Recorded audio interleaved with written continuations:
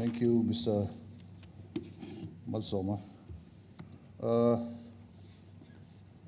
now it's my turn uh,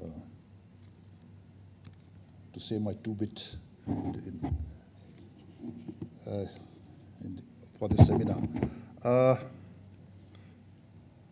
during the course of the last uh, nine sessions, one and a half days, I think we have all heard uh, about the tremendous potential uh, that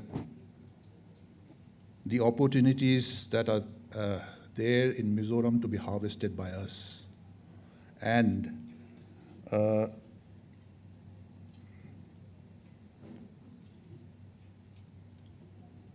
the potential for economic growth of the state. I would, I'm not, uh, I'm supposed to speak on industry and uh, industry and trade, but I, I, I think I'll, I'll, digress a bit from that. Uh, I just want to say some issues uh, of concern which I have come across as a policymaker for the government. And uh, at the same time, I would attempt to provoke this House into some serious soul searching and uh, introspection. Because when we say that we are the gateway to Southeast Asia, uh, I would like to pose a question and ask whether we are ready for it, whether we have the mindset to capture this opportunity, whether we have created the ecosystem that will help us in exploiting this opportunity. Now, uh, as students of economics, uh, we are taught that there are four uh, basic uh, factors of production land, labor, capital, and entrepreneurship. Uh, I would like to dwell on each one of these factors and, and try to examine how stacked we are as a state in all these respects. Let us first take land. Area of Mizoram is approximately about uh, 20, 21,000 square kilometers. With a, we have a population of about 1.1 billion, million, sorry. So that works out to be, if each and every one of us is given a portion of this land, we would have about a per capita uh, allotment of 1,800 uh, uh, square meters of land, which is adequate to build a palatial house with space to spare. But is there really land available for industrial development or for any other development project? The sad truth is that through the, down through the years, our village councils without having the legal authority, have been distributing land to whoever is whoever has the money. We have reached such a situation that all development projects taken up by the government or by private individuals run into cost and time overruns because of compensation issues. Let us take the case of the Kaladan multimodal project. We have reached such a ridiculous situation that the amount of land for which compensation has been claimed is said to be more than the area of Mizoram. Yeah, we can laugh, but what are the costs we have suffered on account of this? We need to have a deep look inside us and question how can we be so greedy?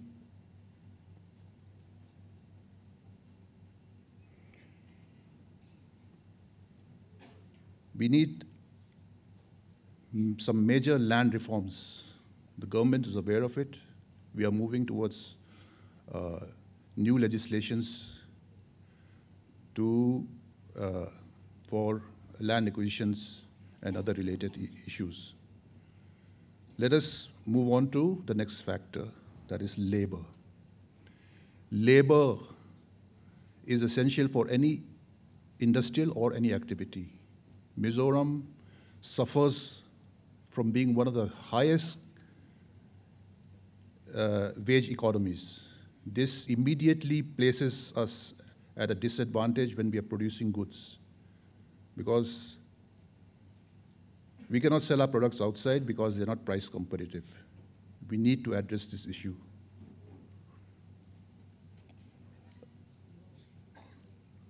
Now, uh, that's a big this thing.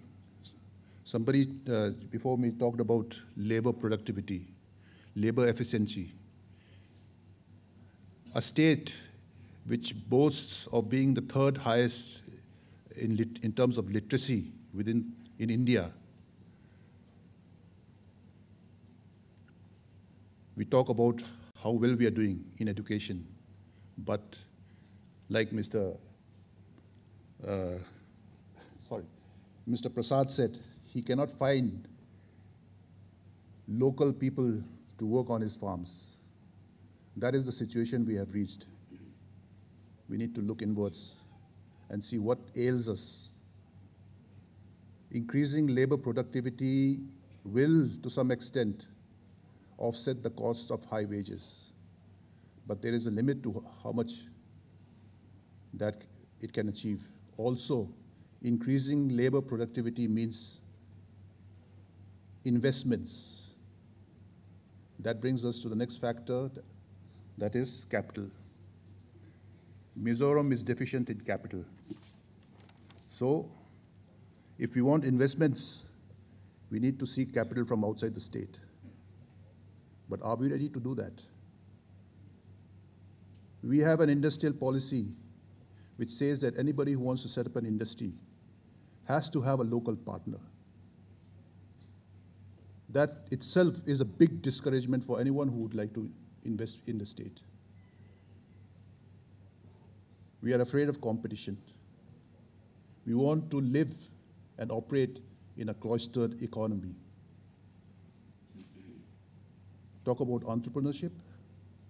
Yes, we have very good traders, but trading can get you only so far and no further. We need to have industries. We need to develop our industries, our service sector. How do we develop our entrepreneurship? We need to operate in a competitive environment.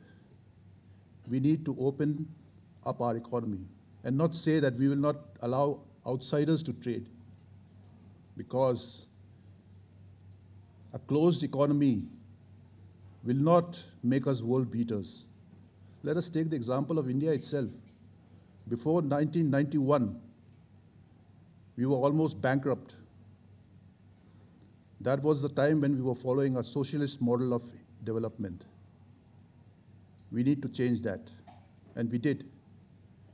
Now look at us. We are, India is being touted as one of the fastest growing economies in the world. And by 200, 2050, it is projected that we'll be overtaking the economies of USA itself. That is what liberalization and a competitive environment uh, gives you. These are problems which uh, the government is aware of. And the government is working to bring solutions. But there is a limit to which policy interventions by the government uh, can have an effect. The real push needs to come from us, the citizens, from civil society, from NGOs, from the church. Everybody, every one of us has to work together for this. I'm glad to see a lot of students uh, having uh, in this uh, uh, in this, uh, during this seminar because what we are trying to address here is for the future of these students. But I would also like to uh, put in a word of caution. Because as students, you should be careful about who you select to represent you. You cannot have a economy, a vibrant economy with competitive spirit and entrepreneurship. If the student organizations that represent you act like extortionists and collect donations forcibly from traders from outside the state. It's a big damper. It's a big damper. As long as we have this attitude, we will not be in a position to attract any meaningful outside investment. We talk about the potential of tourism. Tourism is a 24 7 activity. But then comes Sunday and everything shuts down. The church also needs to have a look at this. Because if we develop the tourism industry and incomes increase, it's a win win situation for all of us. The one out of 10 which we religiously contribute to the church will multiply. So I think that's good for both of us, for the state, for the people, as well as for the church. So uh, those are just some uh, issues I would like to raise because uh, we cannot keep on sweeping all these issues under the carpet because one day that carpet will be so bumpy that it's going to trip us. We need to look, take a good hard look at ourselves and try to come up with solutions, all of us together. We cannot just leave everything to the government. We need to work together for the prosperity of this state. Thank you.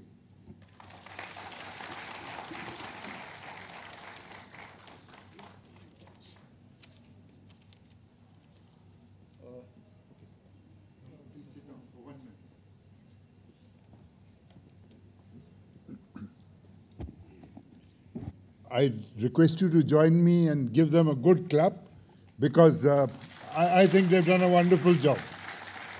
And I struggle to find entrepreneurs. There are two sitting in front of you. If they can do it, you can do it. But you've got to try hard and you've got to work much harder. And uh, I must congratulate uh, Puzothan Kuma because uh, I think he's spoken frankly and from the heart, notwithstanding he is the Commissioner of Commerce and Industries of Mizoram. But uh, everything they've said we will put into the report. Thank you so very much. That, that's a wonderful job done. Uh, before we have lunch, I must tell you that today's session is much more productive than yesterday. Yesterday was all speakers. But today, after lunch, is questions, answers. You all have to question and we all have to answer. Or find answers together. Please don't go missing in the afternoon. Please come back after lunch, be here sharp at 2.30. The, the next session will be chaired by Reverend Dr. Lalchung Nunga and speaker would be Dr. Jane Ralte we are allowed to start. Good afternoon, everyone. Post lunch session is usually a very interesting session. I'd like to request everyone to be alert and to keep yourselves awake because you're going to have very important uh, discussion. There'll be an open, open house time after the speech by Dr. Jane. My speech will be just short.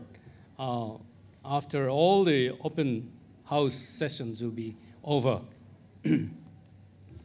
I'm happy to uh, tell something about Dr. Jane Ralte. She and Mrs. Lal Riliani, the wife of our Honorable Chief Minister, Mr. Lalthanhawla, are living symbols of anti tobacco campaign in Mizoram. So she's the right person to speak about uh, this anti-tobacco health, anti-tobacco and drug addiction.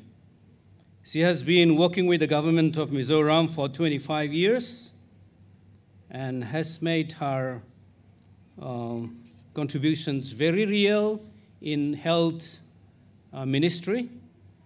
And she has been to her, she has, she is having to her credit the very rare uh, thing about her projects being accepted and funded by Bloomberg initiatives.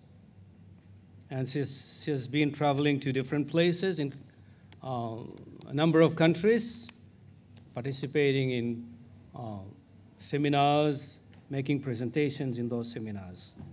So she's the right person. She's the state nodal officer for National Tobacco Control Program, Mizoram State Tobacco Control and Control Society, Health and Family Welfare Mizoram.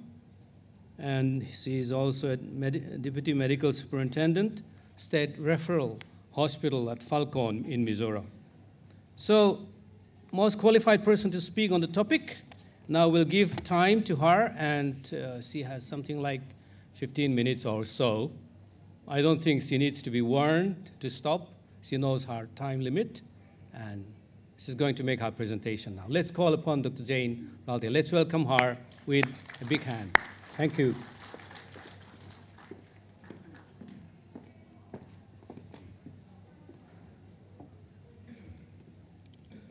Thank you, Chair. Respected dignitaries, guests, faculty, students, and all the people who are here today. On behalf of the Mizoram State Tobacco Control Society, I bring you greetings. Today I will be talking about the impact of tobacco use in Mizoram. Uh, I will really not touch upon the drug problem. that is too huge a problem. And uh, my expertise lies in tobacco control, so I will be confining myself to tobacco control. Uh, Mrs. Lal Riliani, the Chief Minister's uh, wife, is the president of the Indian Society on Tobacco and Health. She's not here today, but she conveys her warm greetings and uh, uh expresses her uh, best wishes to each and every one of you who are here today. Um, so without much ado, I will get into my presentation. Uh, in case I run out of time, beyond 15 minutes, I request the chair to, to warn me because sometimes it's easy to get carried away when you're talking about something that you're really passionate about. So please bear with me. Uh, let's start with the tobacco epidemic uh, all over the world. Let's, I'll, let me try and give you a global picture before uh, I get into what is the picture in Mizoram and in the Northeast. As you can see, tobacco is the only legally available consumer product which kills people when it is used entirely as intended. So if it is made for smoking, people smoke it and it kills them because of that. If it is made as a smokeless form, as a snuff, or in whatever form, it kills when it is used in exactly as intended. Why I'm emphasizing on this is because in Mizoram, we have this, we used to have this problem with Proxyvon injection. Now, Proxyvon is not meant, was never meant to be injected. But the youth in Mizoram, they're very innovative. Uh, it's innovative gone wrong, but they were very innovative. And they started using it to inject themselves. So they were not using it for the purpose for which it was intended. So that is different from tobacco. Now, tobacco worldwide kills about 6 million people each year, of which about, as you can see, more than 5 million are current users and people who have used tobacco earlier. They might have quit, but they still face the repercussion of the tobacco use in their health. It always has some impact. And about 6 lakh people are non smokers, you know, vulnerable women and children and non smokers who are exposed to other people's smoke and because of that they die so we have about this huge number of people who suffer because of other people's smoke so what they have said is the estimate is that tobacco has killed about 100 million people in the 20th century and unless we do something about it now in the 21st century it'll kill 1 billion people and the saddest part is that all these deaths are preventable all we need to do is just say no to tobacco and not use it. So we'll be able to prevent all these deaths.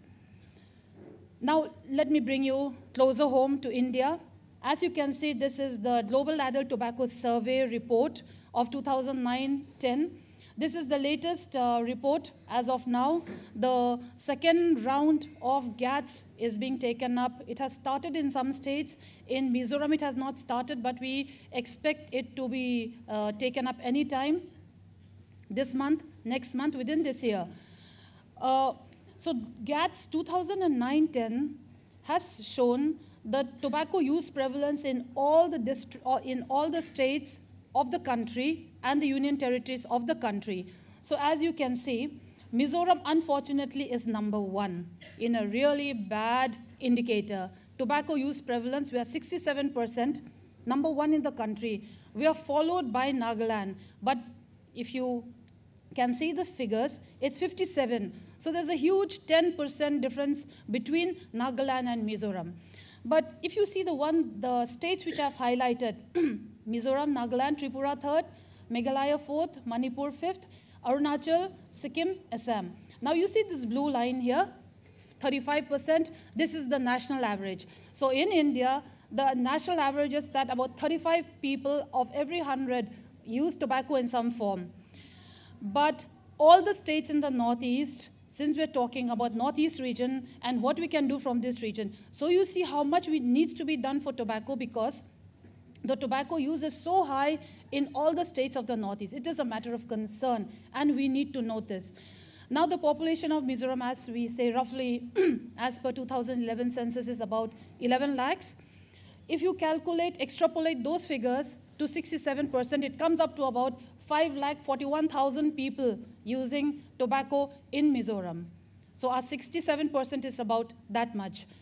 Um, so that is about a general figure. Now let's see the gender breakup if, of states in the northeast. As you can see, Mizoram is very high with 73% of males uh, using tobacco, 62% of females using tobacco in different forms.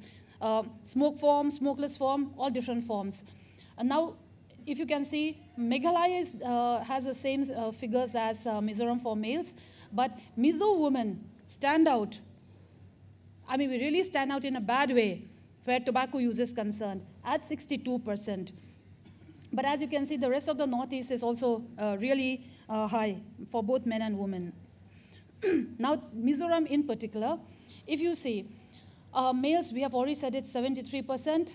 Uh, overall. Smoked form is more common with, with 59% uh, of men smoking. Smokeless is a little bit uh, uncommon, less common uh, among men at 33, but 33% is still very, very high because the figures in brackets are the national figures. Now in women, 62% of women use tobacco in some form. Smoke form is relatively less at 19, but if you see from the national uh, figures, it is much higher for even for Mizo women. Smokeless form is more common among women in the Northeast, uh, in, in, Mizoram. So this uh, is a picture of the tobacco use, the type, and uh, the use among both, both men and women. Now, a little bit about secondhand smoke uh, exposure. The, this is again from uh, GATS. They have said that the secondhand smoke exposure at home is very high it is the highest in the country at 96.5, which means about 97% of homes in Mizoram are not safe because they're exposed to second, because people are smoking inside our homes. This is where the students need to wake up. This is where the younger generation needs to wake up. As we said, it kills about 6 million, people, uh, 6 lakh people worldwide. In Mizoram, the figure would definitely be higher because of this very, very high uh, exposure. Figures in brackets, again, are the national figures. So you can see our Mizoram figure is alarmingly high. It is double that of the national figures. At workplace is 62%. In government buildings is 10, eh, about 11%. Now this is something, okay, let me talk about this first. Awareness about secondhand smoke. You know, this, this survey asked households, they were, it's a household survey. And this survey went to every household and they asked them about what are the effects of secondhand smoke. And in Mizoram, the awareness is really high. People were aware, even in villages, they were aware that smoking causes lung cancer. 98%, we have the highest awareness level in the country. All right. They believe that exposure to secondhand smoke causes serious illnesses in non smokers. We're very aware of that. 93%. But this last point how many allowed smoking at home? A very high 98%. So, what are we doing with the knowledge that we have? We are not able to actually translate that into our you know, be, uh, our behavior. We are not able to change it. Maybe it has something to do with the way we are culturally. You know, we are not the type to go and fight with people or point fingers at them. That is a very uh, uh, non-mizo uh, behavior. But I think we now need to come out of that and, uh, you know, really step out and say, look, secondhand smoke is bad. You cannot smoke in a house. You cannot smoke in the car. You cannot smoke in the bus. This is something that we really need to do. now, again, I'll just be talking about Mizoram. In uh, 2011, this is the statistical abstract of Mizoram 2011, which is issued by the Directorate of Economics and Statistics. This has shown that the top five diseases by which people in Mizoram are dying. Number one is cancer, two, malaria, third is bronchitis and chronic cough, fourth is pneumonia, fifth is stomach and duodenal diseases. Now, if you see the, all the diseases which I've highlighted in red, these are all tobacco related diseases, except for malaria. So you can see that the high consumption of tobacco in any form, because we're the highest, it is no wonder that our diseases, tobacco related diseases, are also the, cause, the causes of the high uh, um, to tobacco related diseases incidence in Mizoram. So this is 2011. Now, 2014, this is the latest. If you see, again, all the diseases in red are tobacco related diseases. Diseases of liver, number one. Number two, cancer, heart diseases. Hypoxia, birth asphyxia, and other respiratory conditions basically means that the child, the baby is not getting enough oxygen. The baby's uh, uh, lungs are not working uh, properly for some reason, and because of that, they're having uh, lung problem. So a lot of our babies are dying, children are dying because of that. Six is tuberculosis. About 40% of tuberculosis cases is because of smoking or because they inhale secondhand smoke. All right, so again, tobacco, to, tobacco use contributes very highly to tub tuberculosis. Then we have pneumonia, renal failure. You may not believe it, but tobacco use is one of the leading causes of renal failure anywhere. So all the diseases in red, again, as you can see, are because of tobacco. So this shows it comes, it comes together, it collaborates, that uh, tobacco kills people, it causes diseases, and it kills people. Now let's concentrate on cancer. This is from the three years report of population-based cancer registry 2006-7, then subsequently 9 and 11, then I'll come to the latest one. As you can see, these are the cancers where Mizoram is number one in India. In these cancers, we are number one in the country. So cancer of all sides, nose and throat. Again, all the ones in red are the ones which are caused by tobacco. There's a special term for that. It's called tobacco-related cancer. Nose and throat, lung, esophagus, the food pipe, the stomach, cervical cancer.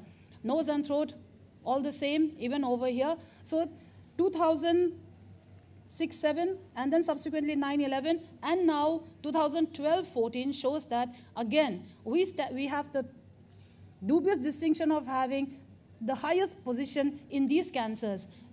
Male cancer lung, female lung, male and female colon cancer. Second position in female throat, male stomach, female stomach, male and female, uh, sorry, male colon, male and female lung, and female cervical cancer. So again, you can see the impact that a tobacco use has on this deadly disease in causing this deadly disease called cancer. And we know that cancer is a really ugly, deforming, a terrible disease, debilitating disease. We have to spend so much of money. And because the detection uh, may be a little bit late, many people ultimately die even though they take treatment. They die very soon. They are not even able to complete their treatment. so the mouth and the throat and the esophagus, these are all the tobacco-related cancers which I have been talking about. So those pictures were to kind of wake you up. I hope it has waken you, waken you all up. And we do have this same, uh, same picture in many of the states in the Northeast. The economic aspect, one slide, uh, there are two slides on the economics. one is that the daily expenditure on tobacco is really, really high. If you can see, tobacco smokers, if we, it has been estimated that in Mizoram they spend about 21 rupees and 20 paisa. So daily it comes up to about 42.67 lakhs. Smokeless, sorry, bidi or Zozial, Zozial is the Mizo version of bidi. So supposing they spend 7 rupees and 30 paisa, in a day the expenditure by these smokers is about 4 lakh, uh, sorry, 2 lakh 41,000. Smokeless form is about 15 lakh 85,000. So altogether in a day, we spend in Mizoram about 60.93 lakhs.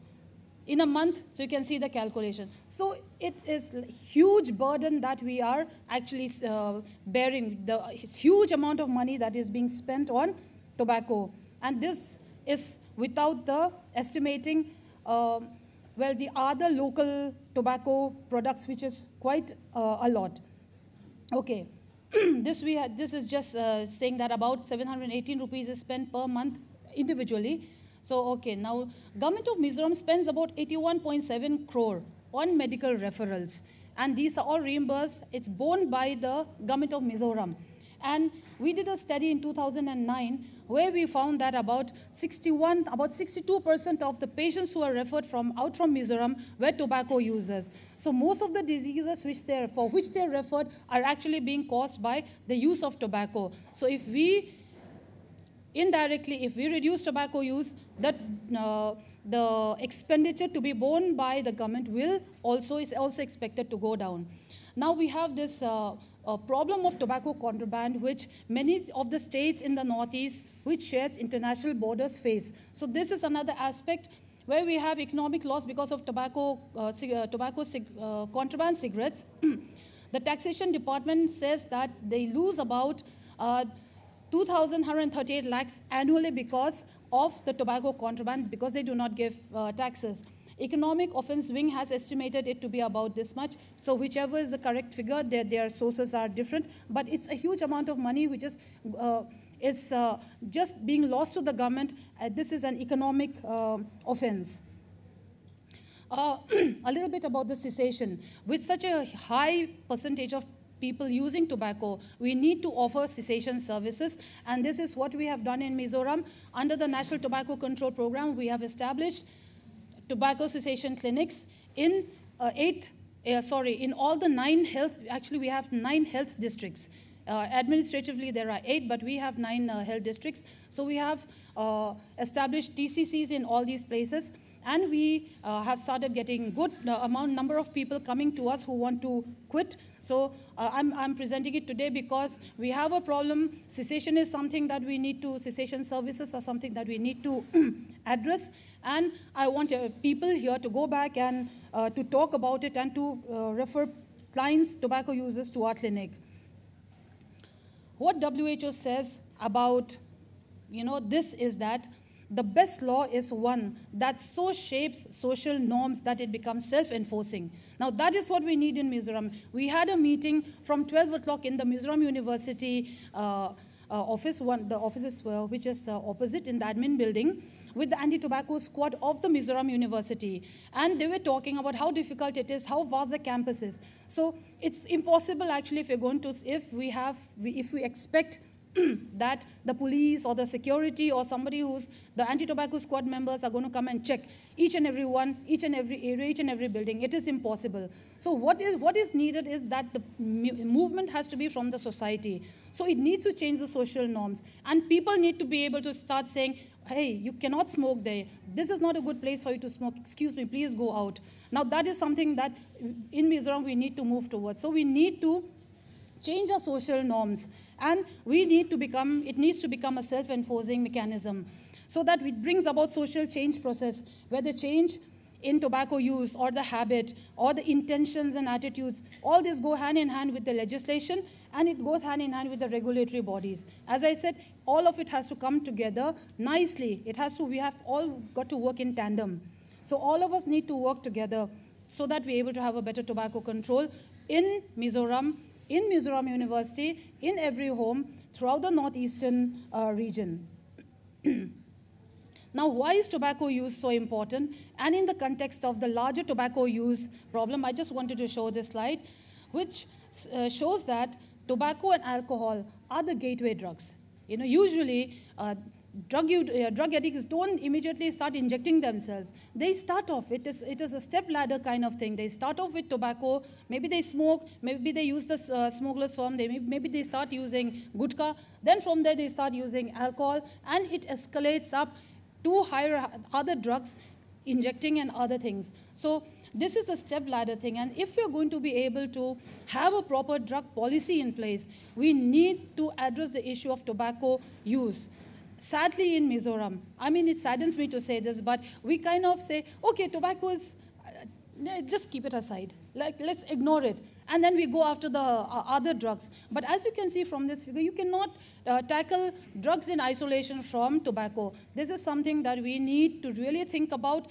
What we learned uh, the other day when we had a meeting with the legal metrology people was that a number of the tobacco uh, cigarettes contrabands which is being smuggled in from uh, mainly from Myanmar they actually change the vehicle, they modify it, and they really pack it with uh, contraband cigarette. And they said that uh, they, they suspect that among this consignment of tobacco cigarettes, that they feel that other drugs also would be getting, you know, uh, smuggled in. So it goes hand in hand. So these are some of the reasons why we need to address the issue of tobacco control in Mizoram if we're going to make a good headway in uh, uh, control of drugs uh, usage in the state on a, uh, in an effective manner.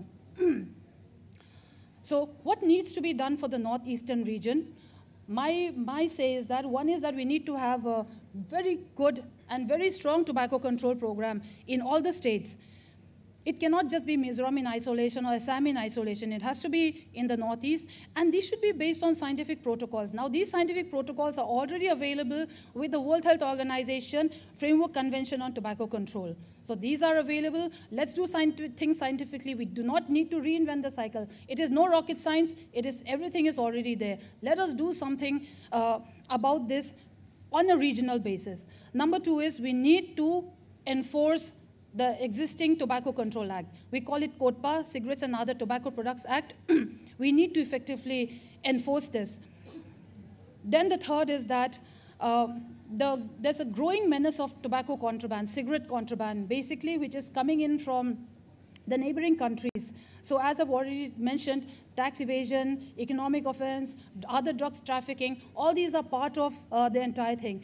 So we need to mm, start saying, okay, tobacco contraband, cigarette contraband is something that we really need to you know, address. Then there's also flow in the opposite direction. Very popular uh, tobacco products like gutka, you know, khaini, these are all going into our neighboring states. So it's like, you know, back and forth. Were exchanging different kinds of poisons. So these are some of the things that we need to uh, address. Then we need more research uh, on tobacco use in Mizoram and the Northeast region. And in order to have a tobacco-free Northeast region, uh, if we have a tobacco-free Northeast region, we will have a healthier uh, Northeast region. So let's not beat around the bush. Let us beat the bush. That is something that we need to do now. So with that, I thank you for your patience, and I hope I've been able to address a little bit of the issue. Thank you very much.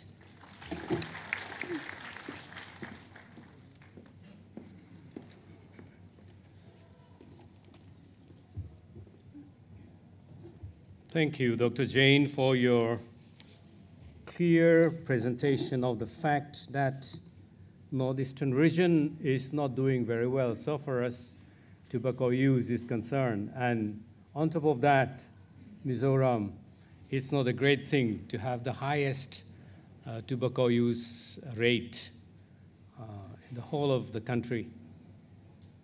Um, now, it is going to be an open house time, but before we open uh, questions and answers for all the topics that have been discussed, uh, maybe not necessarily with specific re reference to any particular topic. Uh, it may be a general uh, question, which is, of course, relevant to the purpose of, to the aims and objectives of our seminar.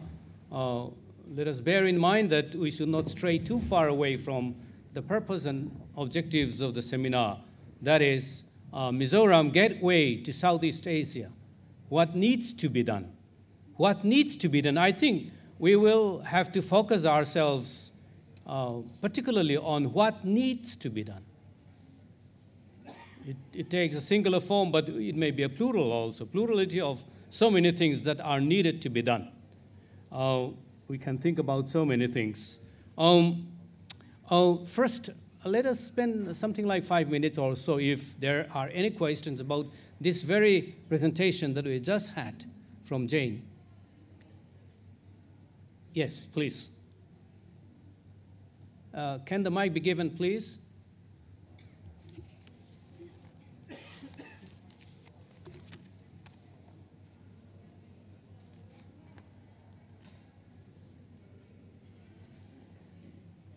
Oh, uh, before we start, I'd like to request any, anyone raising question or giving answers to identify yourself. Uh, hello. Um, uh, quite interesting presentation, ma'am. Um, I appreciate your presentation very much, and uh, I feel we should make uh, this kind of presentation as, as a lesson uh, in school education. Uh, we, we, we need a lot of awareness um, among our children, teenage children, and students about this. Um, and, and you made a um, uh, calculation that uh, how much uh, uh our state uh, is spending um, on smoking, right? It is quite frightening. Uh, but but have you have you included the health cost involved? Because um, so I, I think if you could in, if you could uh, include the health cost, uh, the likely health cost uh, um, to be involved um, in the life of a smoker, and it would be much more frightening. Thank you, ma'am. Yes. Uh, I am Jyoti Kumar, Professor of Commerce. Mizoram University. We can take any other question? One or two more? If no more questions, let's have a response to that. Thank you, Professor Jyoti Kumar. Uh, the, regarding your suggestion about the lessons in school, in textbooks, it has been taken up. Uh, in fact, uh, the new syllabus is about to come out, which uh, SCERT is uh, preparing. So we have submitted the lesson plans and everything. So they're going to be including it in classes 6, 7, 8. And it was already there in class 4 and in class 9. So we're trying to uh, get different messages about tobacco and drug use uh, in every class, in different uh, subjects. So that is the first point. You're very right. When I said that this is the cost of using just tobacco, uh, that is just the amount which is spent by people on buying tobacco. And we have not included the health costs and other things because we actually do not really have a local study.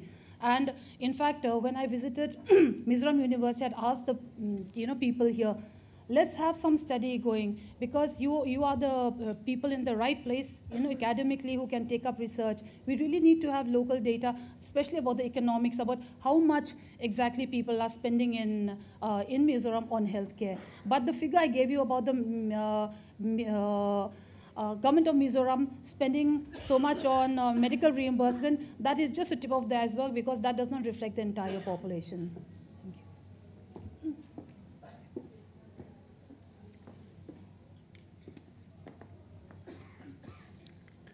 Thank you. Thank you for the question and for the response. Uh, now we'll open the house for any questions. Uh, referring to any of the topics that have been discussed yesterday, today, and any other relevant topic, topics that you would like to refer to. Uh, now time is open. But as I said, please identify yourself first and then ask question.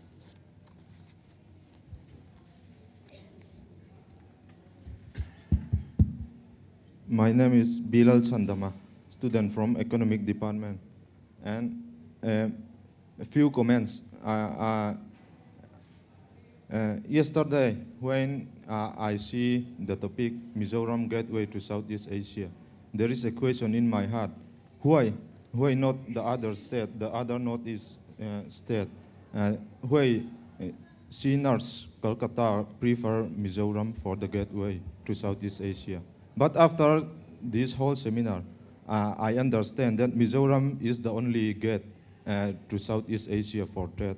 Because if, uh, if we look at the left, uh, this left uh, picture, uh, if you see Arunachal Pradesh, as we all know, frankly speaking, there is something with China, we know. And from the defense strategic point of view, if, we, if we construct highways and railways to Beijing or mainland, mainland China, uh, if there is any conflict, uh, our profit from interna international trade will uh, need to employ more battalion of regiment uh, during conflict. So it is not beneficial from, from the def defense point of view. And from the economic point of view, Arunachal is high, higher in altitude.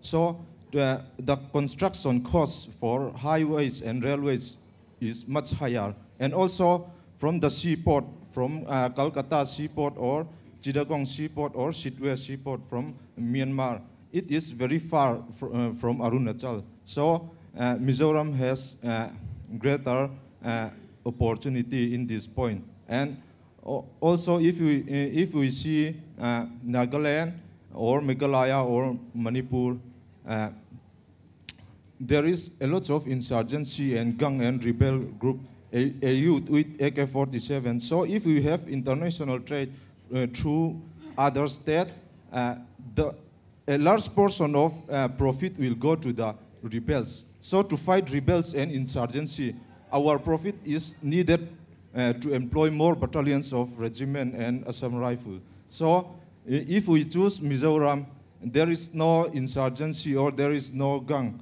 So our profit will be 100% profit.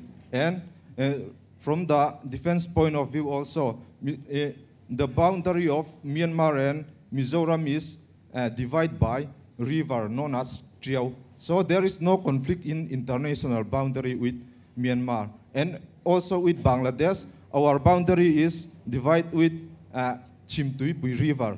And this, there is no uh, border conflict with Bangladesh. So uh, it is uh, from the defense point of view, from the political stability point of view, or from the economic point of view also, uh, if we use Mizoram, not only China, we can trade with uh, Burma, uh, Burma and through Burma we can trade with Laos, Vietnam, Thailand, etc. So Mizoram is the best. From this seminar, I know that Mizoram is the best point. And, and also that if we can construct railway and highways through Tripura, Bangladesh, through Assam and West Bengal, so we can access Southeast Asia uh, shorter distance and uh, the transportation cost will be less and the price for uh, commodity and, and, the trade, the profit of trade will be higher and the price of commodity will be lower. And, uh, but yeah, uh, the second topic, what needs to be done? Uh, in Mizoram, our main problem is connectivity, like highways, railways, uh, telecommunication, etc. And but uh, yesterday, our honorable chief minister said that due to 1966 to 1986, insurgency. Uh, there is uh, the, uh, in, the infrastructure is hampered by that insurgency. He said that. But from 1986 to 2016, there are 30 years, and 30 years is, has gone. So till now, we, we are underdeveloped in infrastructure. So our need first is infrastructure uh, to extract mineral oil or petroleum or to export vegetables uh, or uh, to exchange trade uh, or uh, to, to exchange commodity or service. Uh, we need roads and highways, railways, etc. So, but our main problem is how to have this connectivity. We, we can, we can, we are high in liter literacy, we are high in educated, uh, most of the Mizo uh, students can speak English fluently, but uh, we can develop our entrepreneur skills and labor skills, but without transportation. Yeah. trade cannot be done. Exchange of ideas or information or uh, goods cannot be done without connectivity. But how can we? Uh, how can we have uh, connectivity uh, with leisure time? Because uh, the gestation period for connectivity is very fast and the uh, corruption, mismanagement, etc., and lack of political uh, will hamper the uh, construction of this connectivity. So uh, my question is that how can we improve our connectivity to improve all the human resource development, entrepreneurship skills, or trade, etc. Thank you.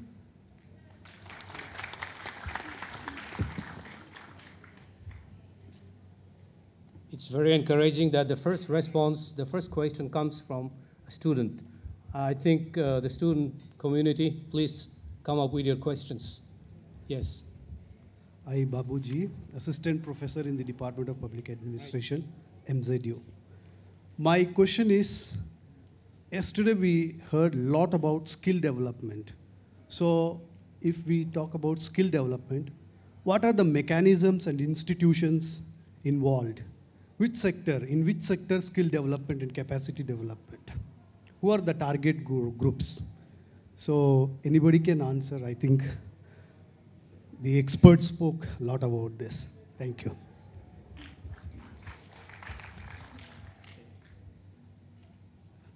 Good evening to all. I'm Devendran, professor from the Department of Social Work. I had been here for the last two days. I'm listening. It was wonderful uh, eye-opener for me to have a discussion with regard to the international border, what is happening so in this context, again, what uh, Mr. Uh, Babu asked, in that same way, my question is that since uh, the young, the youth, in Mizoram context itself, the 40% of the population is uh, young population. In that regard, uh, most of them we have been listening, uh, uneducated, unemployed youth problem is also very high. So in that context, skill development, most of them are speaking about this skill development and entrepreneurship development. In this regard, this is my submission to this uh, CENARC that baseline survey is needed in this regard. Reason, skill-oriented things, what are the skills are essential for this young people in this context with regard to trade and commerce. So some, without venturing, uh, venturing into this context, some baseline survey is needed in order to identify what skills are essential and what type of skills they have accordingly in order to help the young minds.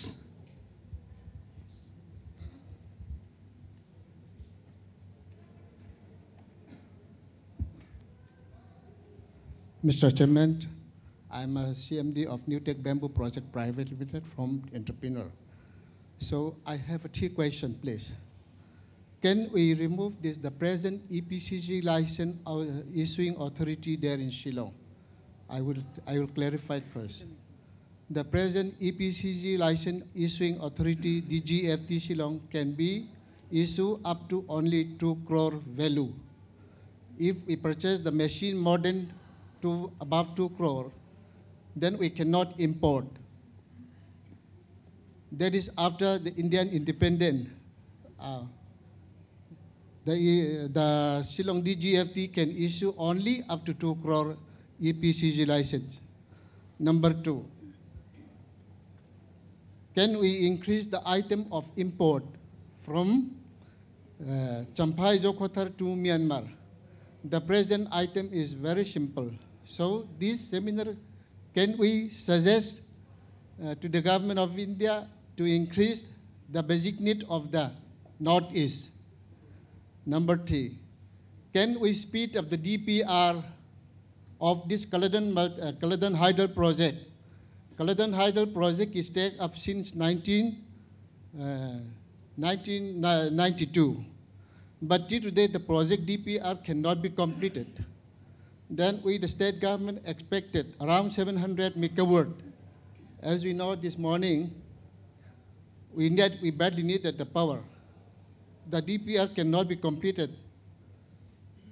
So this, uh, this Kaladan River is coming from Myanmar and coming inside Mizoram and going back to Myanmar.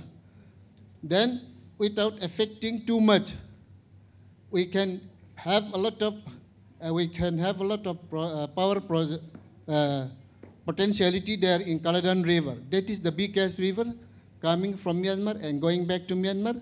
Then we, the government of Mizoram, can have a lot of potentiality in this area. Number three.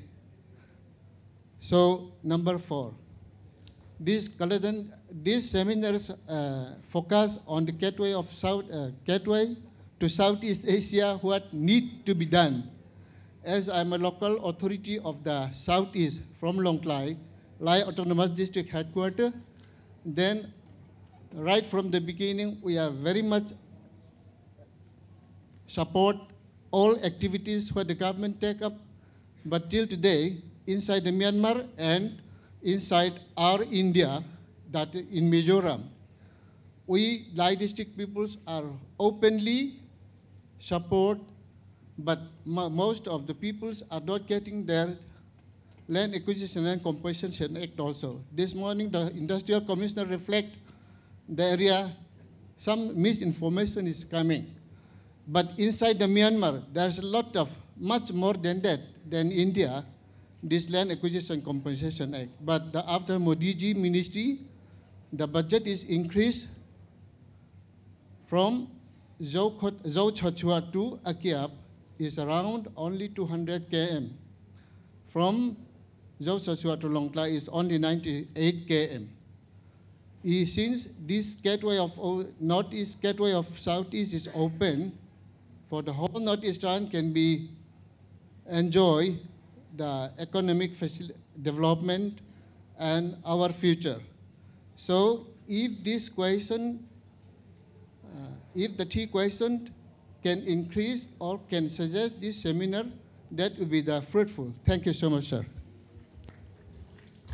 Thank you. Uh, all those who raised questions.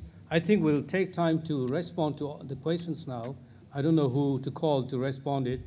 Um, maybe any of the resource persons or some of our organizers, General Mukherjee or some, yes. Yes, please. Anyone who wants to respond. Um, I would like to respond to some of the queries uh, uh, and ideas. Some of the queries raised by Babu, um, Devendran, and uh, that student. Um, now, after um, Modi became Prime Minister, um, it has become uh, fashionable uh, to talk about uh, Skill India. Um, that is after 70 years of, almost 70 years of independence. And uh, there are many uh, reports uh, um, um, which revealed that um, not only in Northeast region, entire country, 80% of our graduates in professional studies as well as in other studies, they don't have um, employable skills. As, as teachers, as faculty in higher education institutions, sometimes we wonder our students are so good, they perform so well in examinations, they possess a, good behavior. But we feel very sad uh, when we um, uh, uh, came to know that uh, they are working uh, in a small uh, jobs. They are underselling themselves. It is not that uh, uh, products are bad. Of course, we are the people responsible for producing the products. And we feel uh, mm, we have many talented and qualified students, but we don't have jobs in India.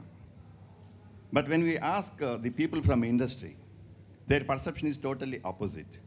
They feel there are n number of jobs available with them, but uh, the products are not up to the mark. So there is a wide, widening gap. There is a wide gap between uh, uh, mm, um, uh our perceptions and the industry's perceptions. So after completing BA, BCom, or after completing MBA and BTech, if we are talking about uh, how to impart skills among our graduates, that means there is something wrong with our education system. And uh, normally we, working in universities, we blame the colleges, feeling that uh, uh, colleges uh, um, are not up to the mark and we are not getting better students.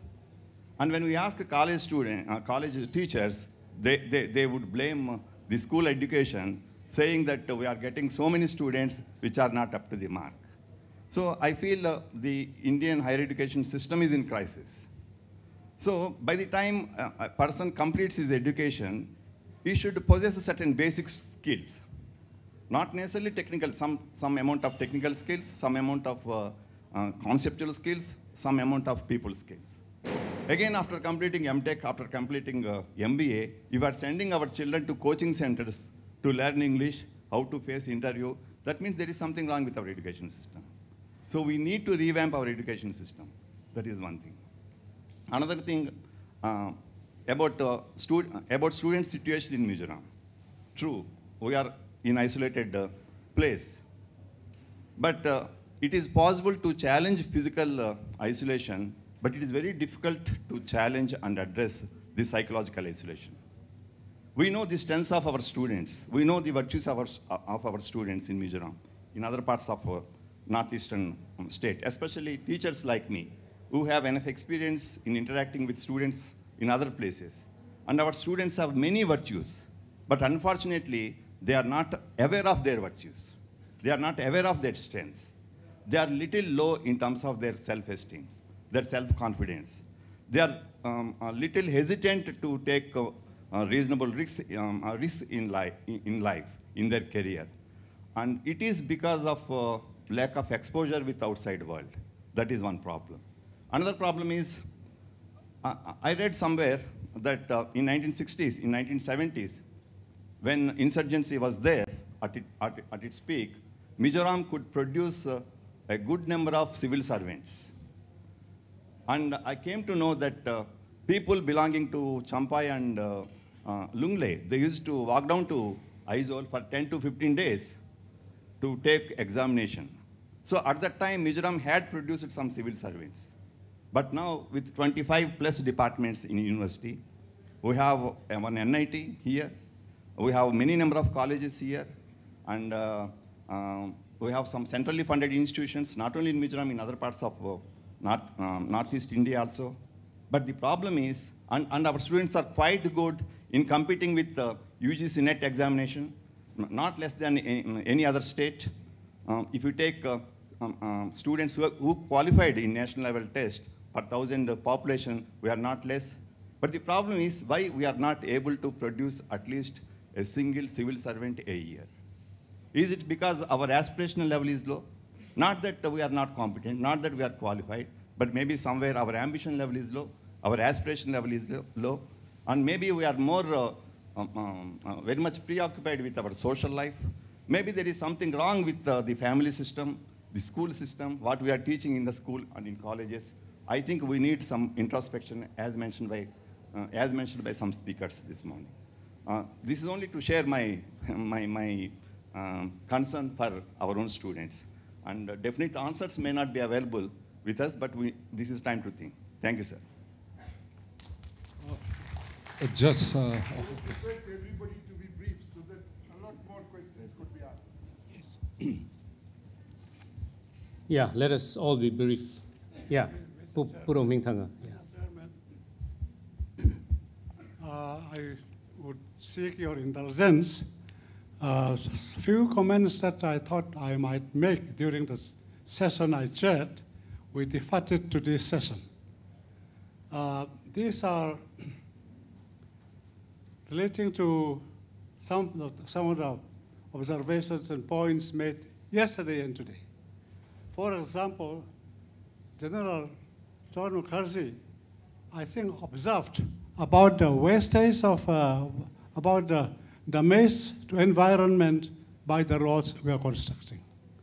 Now this is a thing which I had also thought over for some time after seeing uh, these roads during the last few years after my return from Delhi. It's a tremendous damage has been caused both above the road as well as the road by landslide.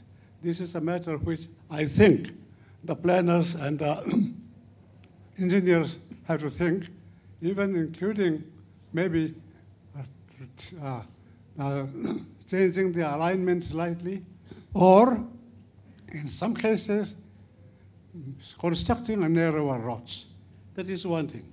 And the general has also raised about the possibility of uh, maintenance by villagers. Now, this is a very important point, and it has often crossed my mind. But of course, I knew that in the 70s, this was tried. Not, on, not merely maintenance, but even construction by the, uh, by the villagers on the sections near their villages. But it was not very successful. But I think this is a very good suggestion and worth considering by the department. And then on talking of roads, I think I have to, we must, we must also know that we have ancient roads in Mizoram from, from Burma. There are traces of this, and as such, now Mizoram has all be, always been looking east, or we have been looking west from the, across the Tiau River. So this is a matter which we have to think of, and uh, therefore, there's a lot of these heritage sites on both sides of the border have to be connected, and uh, uh, the potential huge uh, tourist uh, uh, uh, tourist destinations, and therefore I think it would be very good if the PWD department Uh, PWD department takes this into consideration. Regarding the railway line, I have always said that the railway line from Bairabi to, to Sairang, I envisaged being extended to Sittwe, Sittwe, Akyab in Burma, and then on to Rangoon and then to Southeast Asia. Similarly, I had visualized that the national highway will be along this, the, same, the same route. And then there are just one or two more points. Um, about the trade, about this thing, uh, I just want to clarify for the information of the uh, audience and also from, from members from outside that we used to have in the British days and even after independence, 40 miles inside, 40 miles that side was free for all. And after the disturbances, it was reduced to 25 kilometers as far as I know. The latest point that I do not know, but now it is necessary to take some permissions from here and there. But I think that one day we shall have what has been mentioned by, I think, Dr. General Roy, uh, like the Indo-Canadian border, which I have mentioned in one of my articles also, and similarly, the border with Myanmar, uh, with, with uh, Bangladesh would be much soft, uh, softened. And uh, we have had very encouraging words from the, uh, from the Bangladesh minister, and I hope that this will be followed up. Lastly, the point I want to make is that uh, the issue of perception is a real issue in Mizoram. And um, we, there is apprehension that we may be swarmed by us, from people from outside Mizoram. Now, this is a, that is a matter which has been, has we've been of much concern to most of the civil, civil society, but it is encouraging to hear, as I say, from uh, Mr. Bhaumik, that uh, Bangladesh requires a lot of people. They don't want to send so many people outside. It's, uh, that sort of thing has come, and on our part, we have to know. On our part, we have to know that the world is getting smaller and smaller. And unless we prepare ourselves and be very qualified people, there is always a danger that we may be swamped in some way or the other. And therefore, we need very, a good governance which will uh, implement and uh, enforce the protection uh, measures that we have, the regulations we have, is very judiciously and efficiently. Thank you, Mr. Chairman. Bhaumik?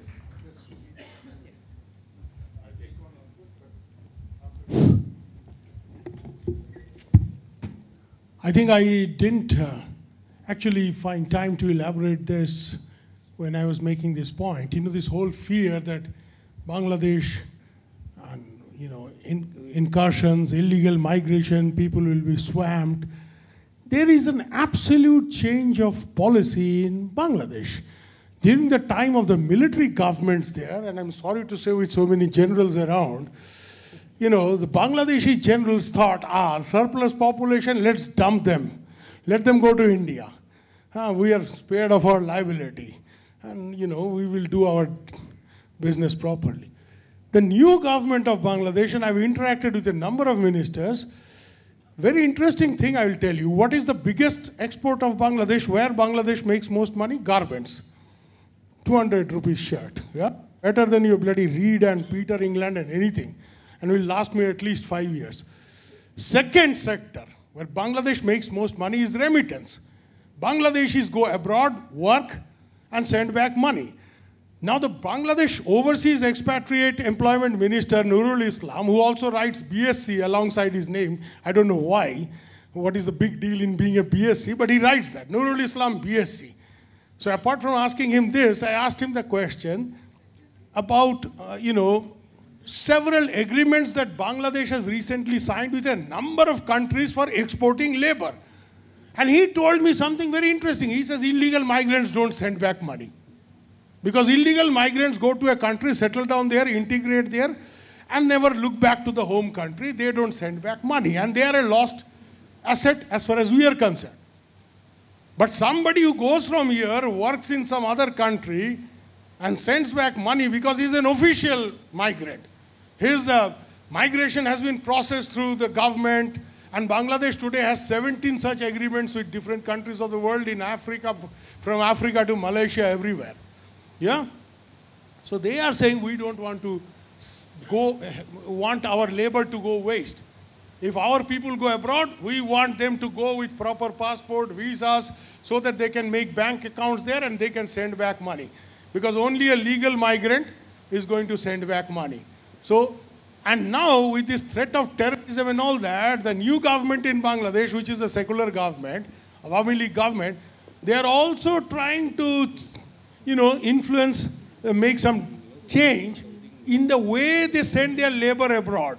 So Hasanul Haq Inu is the cultural minister, information minister told me, I would prefer somebody from Bangladesh not to go to Saudi Arabia where they become more fundamentalist Muslim because as Muslims they have to live like proper Muslims there and not a Bengali lifestyle that they live back in Bangladesh, you know, liberal, easygoing. So I would rather want my people to go to Australia. A, they may make more money. B, they will be less fundamentalist.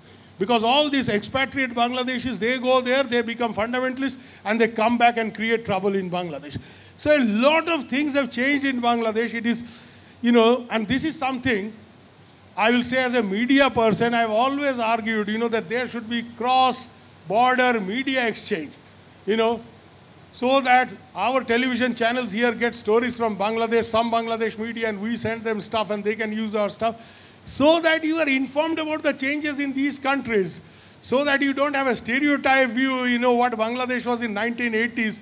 General Ershad never bothered about migration. He thought, jane do, India mein jayega, let him go, you know. And uh, he will, of course, you know, he will say very good things now that he is, a, you know, a leader, a political leader. But that is what it was. Bangladesh has changed enormously, not only in its economy, the way it is booming up. Look at the growth rate, 6% plus. And all this happens because there is change of thinking in the country. They are looking at everything from a very economic point of view now. And they are thinking labor is our asset. Let us not waste it.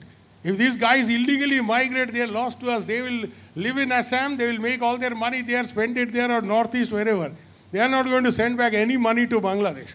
But if they are going with a proper passport, visa, agreement, you know, living in some other country, they are sending back money because remittance is the second biggest sector of foreign exchange income of Bangladesh. And with it is because of this big foreign exchange income that they have, they even dare to do big projects like the big bridge, six kilometer bridge on Padma River, which is one of the most toughest rivers, with their own resources. They had a problem in the World Bank. They told the World Bank to get lost. India will not dare do it. Yeah, it was a $2 billion project. They told the World Bank, you're not doing it, you're wasting time, you're asking too many questions, get lost. We'll do it with our own resource. How did they do it? They said so many expatriate, 25 billion income, you know, coming into our system every year. Padma bond. Padma bond means more than the normal bond or the certificates, 5.5% jada interest dega. So they will invest in Padma bond and using the Padma bond money, they are raising their own resources. So Bangladesh, please make sure, you know, and I'm saying this because we know Bangladesh quite closely. I'm a Tripura man. We, you know, for me, Bangladesh is a bigger reality than far off Gujarat or something, you see. I don't know anything about Gujarat, but I know Bangladesh. I can tell you, I can assure you I know Bangladesh. I'm telling you, Bangladesh has changed enormously. It's not the bottomless basket case that Kissinger said it was. The Americans thought this country will sink on its own. Pakistan will sink, believe me, it will, but Bangladesh will not. You know why?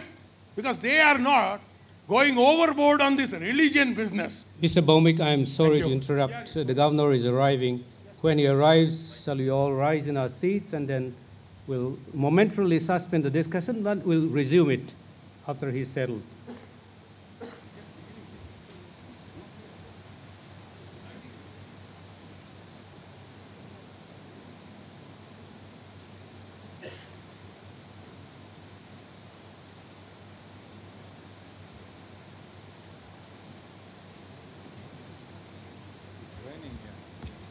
Your Excellency, sir, we have been having our open house session, and the closing session is to start at 4.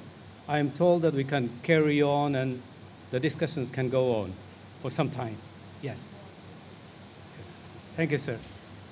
Um, questions have been raised by the students as well as teachers, and responses have been made, and it, it's going on. Now we still have time, some little time to continue to raise questions uh, and make comments also from what we heard yesterday and today. Time is open. Yes. Uh, Professor Chona. Hello. Hello. Uh, just to respond some of the questions raised by the participant regarding skill development. As we all know, we have a separate ministry now. They are working full time and a new skill development and entrepreneurial policy is being drawn up in 2015. And we have a big organization, National Skill Development Council, and this organization is carrying out, carrying out skill gap analysis for each state, and at the same time, they are conducting at the district level. Okay? Now, we have a separate sector skill councils. So every trade, we want to make it skill relevant. It should be credit based. And it should be acceptable, uh, world class. Wherever you go, the credit we earn through the uh, skill council uh, credit will be accepted all over the world. And the credit we get should be bankable. Bank must be ready to finance whatever skill we are getting from that sector skill. So we are going to have a new landscape of higher education in the future to come higher education will be more and more skill related. These general courses will be going in the backside and conventional courses like MA in such and such degree is irrelevant. This is what we realize at the moment. India is having uh, such and such population dividends. But if the populations are not equipped with skill relevant for today, it is nothing. Okay, it is a burden. So skill development is very crucial. And not only the present government, even before that, they realized the importance of skill development. So the present government is continuing in a greater emphasis. So, things will be changing.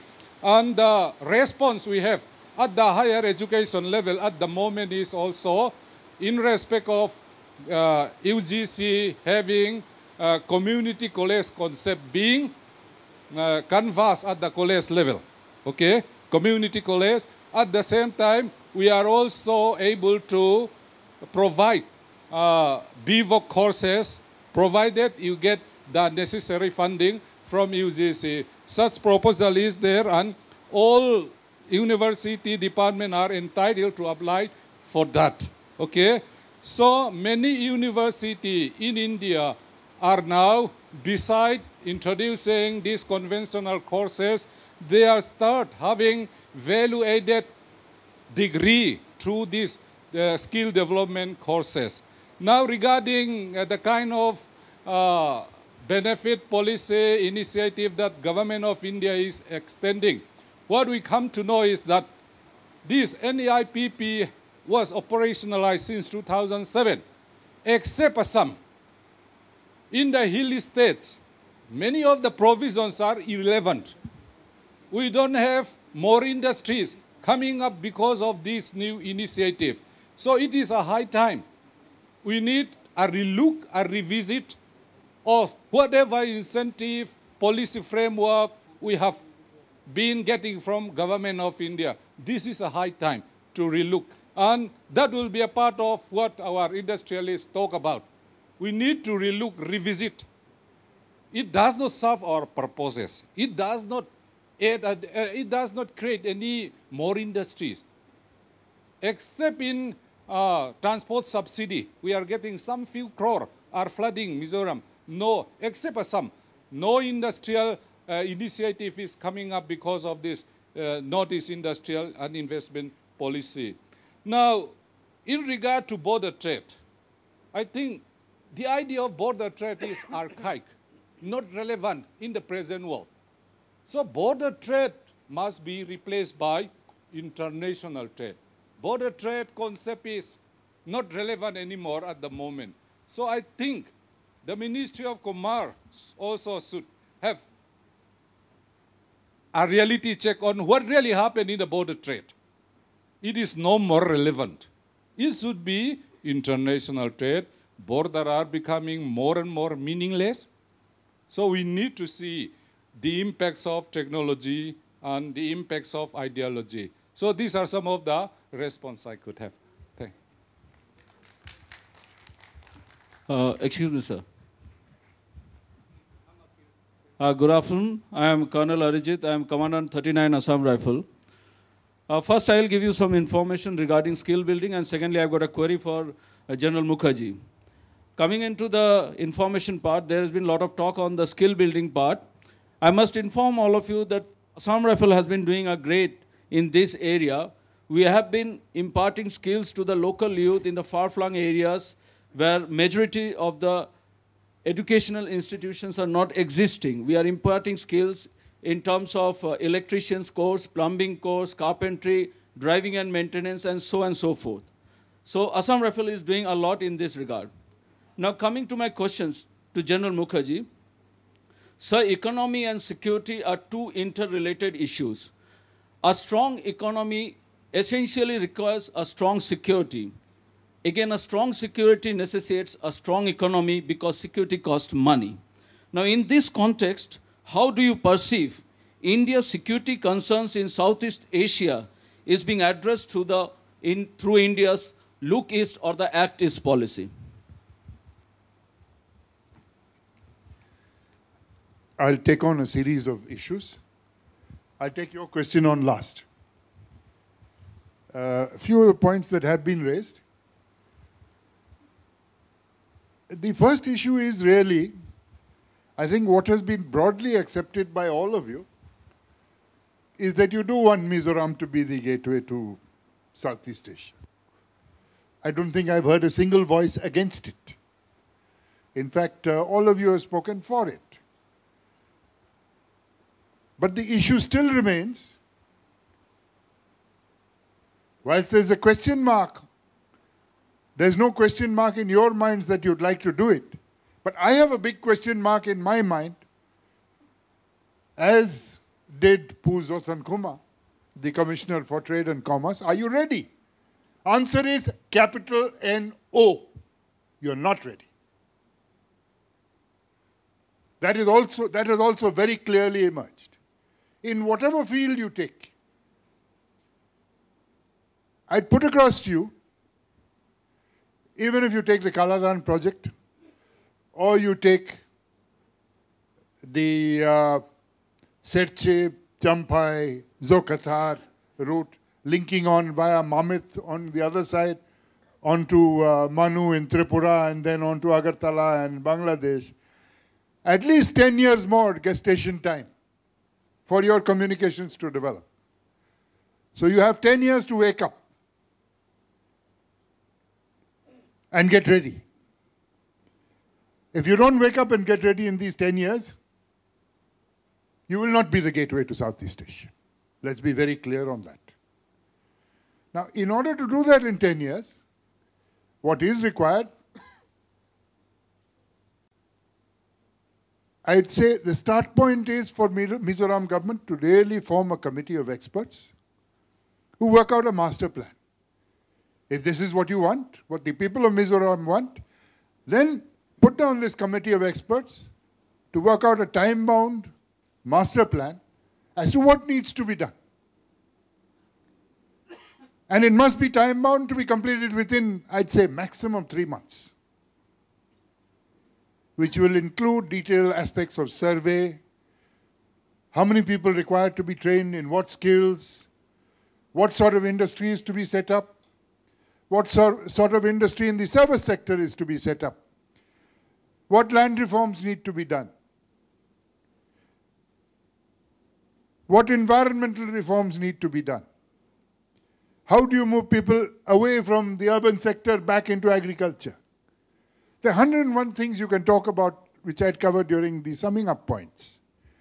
But this committee of experts is mandatory.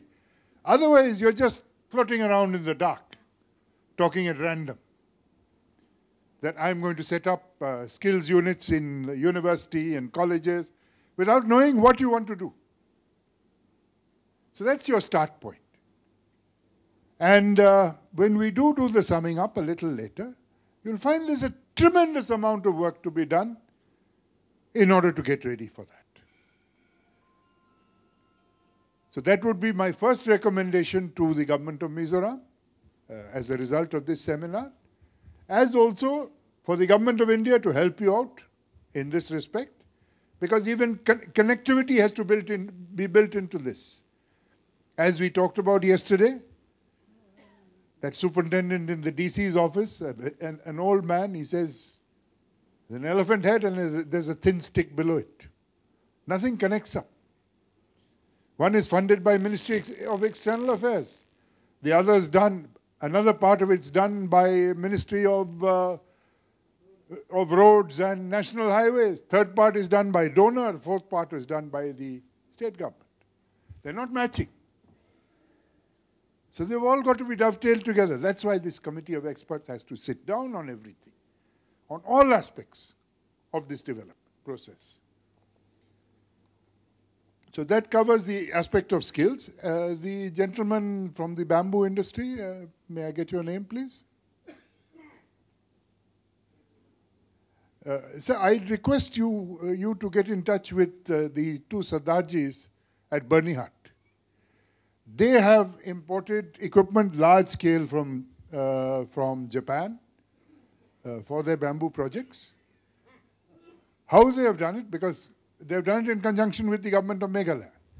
I am sure if you contact them and find out how they have done it with the government of Meghalaya, and very expensive equipment, contact them, then grab hold of the Commissioner of Industries uh, in um, uh, Mizoram, Yes.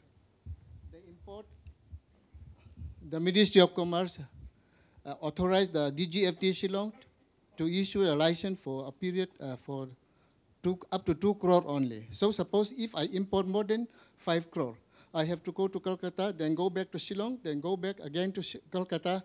The same problem I faced last two, two years back. That's all then, I'm asking you to do because... That uh, is why if the, if the issuing authority power is increased, DGFT Shillong, then or if the government introduce every office in every district. I've noted down this point and I'll put it in the recommendations. Thank you, sir. But I would request you to please contact those two Sardarjis at Byrnihat.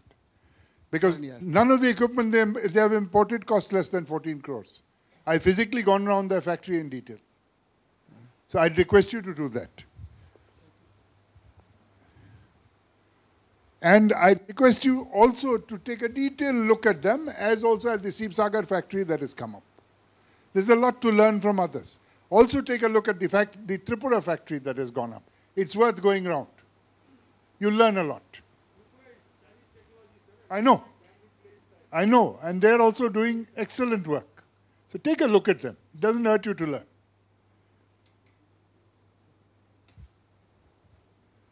Then the next point I have is your worries about migration. Whether you like it or not, 2011 census, um, uh, 2011 census, your population was 1.1 uh, 1.1 million. By now, I think you're about uh, 15 lakhs or so. But whether you like it or not, this 15 lakhs is spread all over Mizoram.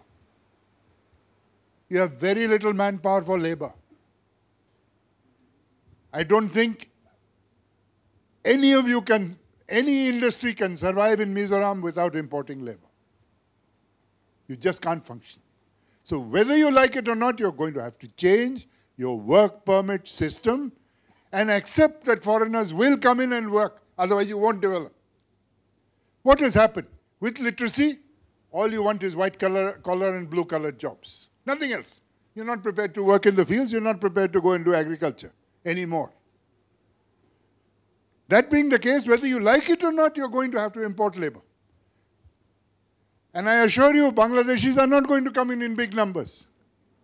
It will actually be people from Assam who are without jobs. It will be people from Manipur who are very badly off. They will come and work. But you have to allow them to come in. Otherwise, there's going to be nobody to work your fields or work your industry, even if you develop. So please remember that. That will be one of the reforms you have to undertake. And you will have to lump it and accept it and accept the changes, the social changes that come along with it.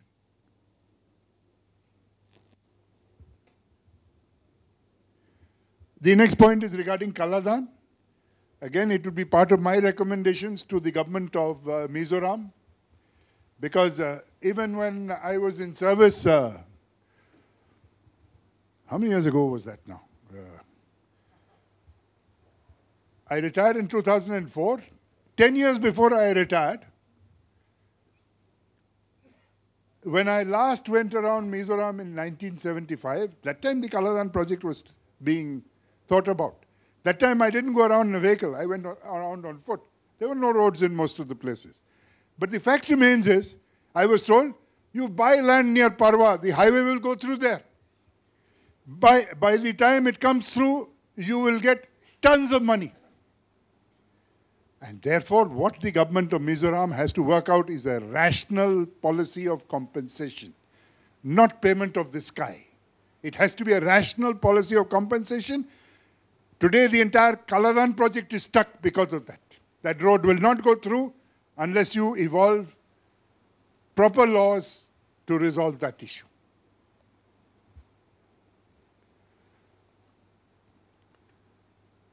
The point about um, uh, hydroelectricity projects on the uh, or uh, the Kaladan River is very valid. Even Tipaimukh is valid.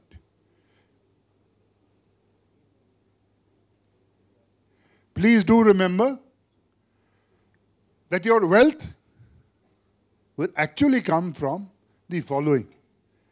From hydroelectricity export, from gas export, and I assure you, you've got plenty of gas. It has to be found and, and the gas fields developed. Agriculture, horticulture, and entrepreneurship. And of course, the service sector. That's where your wealth will come from. So you must develop these aspects, which are your assets.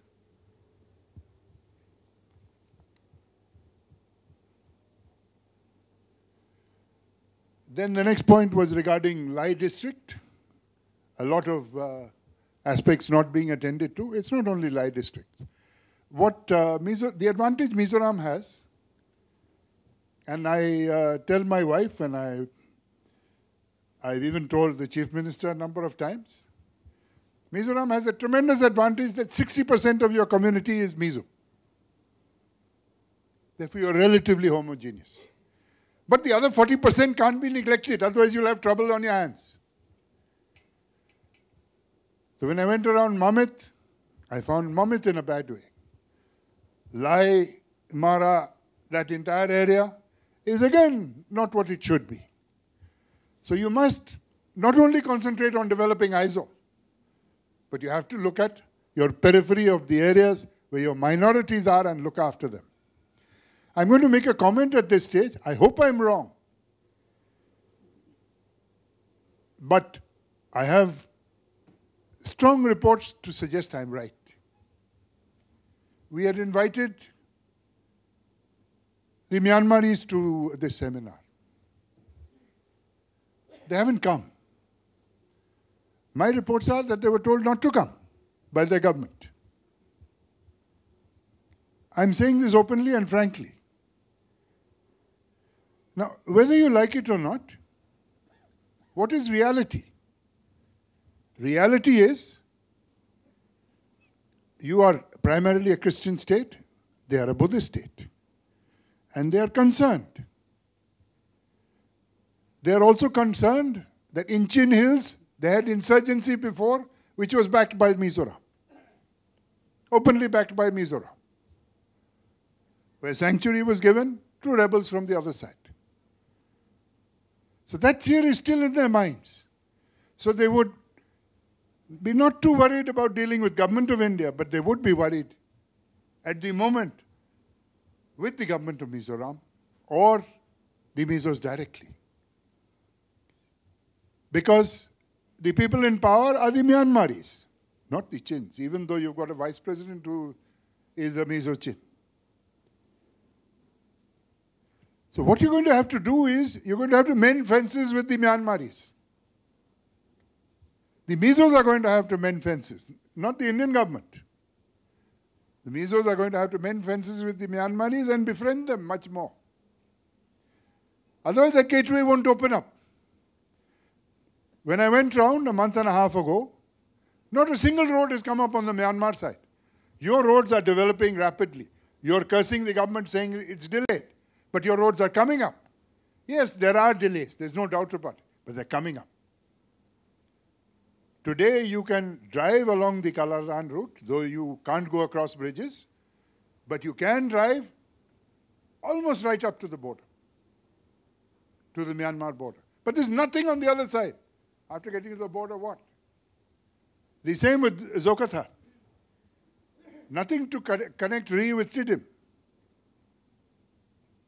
So you're going to have to befriend uh, the Myanmaris, and I'm going to put that down in recommendations. A lot more contact to befriend them and allay their fears. You're going to have to be good to the Chakmas who are Buddhists. The Myanmaris are Buddhists. I'm being very frank with you.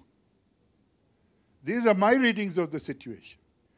Similarly, whether you like it or not, you're going to have to do much more to befriend Bangladesh. Because not a single road from the Bangladeshi side is in good condition leading to the Mizoram border. Or there is not a single road really at the moment. The same from your side. So it's mental connectivity with Bangladesh as also physical connectivity. So you're going to have to put in a lot of effort to do that. Even though the minister has been wonderful in coming here and made a tremendous effort for which we are all indebted, but you have to do this.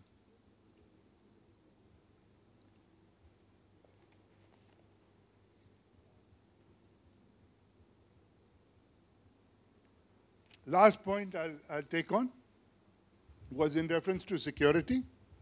What you said is valid. Whether one likes it or not, we've got insurgent groups who have taken sanctuary across the border in Myanmar and are still in sanctuary there, and are in sanctuary in Yunnan, in China. Bangladesh has demand, done a tremendous job and pushed out the Indian insurgent groups almost in entirety from Bangladesh. But there is the Indian fear, the Indian fear of infiltration, therefore you've got a huge big border fence coming up all over. And people are thinking of putting a border fence on the Myanmar side also. So whilst you want seamless borders, you have got to think of how to soften these borders up, at the same time maintain security and do a balancing act between the two. So you're still going to require border security, but softer border security with entry more or less as a much freer flow at entry points, selected entry points. So it can't be totally the Canadian system or the European system of a totally open border. And therefore, what it boils down to is whether we like it or not, there are two aspects to it. It's not only international trade, it is also border trade. You can't run away from border haats. The local people will want local trade. So you're going to have border haats at selected checkpoints in your fences. And in addition to that, you are also going to have to have international trade along main check, checkpoint routes. I hope that answers your question. Thank you.